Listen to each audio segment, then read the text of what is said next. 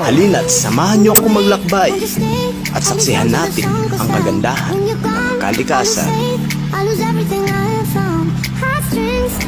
Ang batis na ito ay kinikilala bilang isa sa pinakamalinis na tubig sa buong mundo. Shit. Sino ito? Ano ito? What the fuck?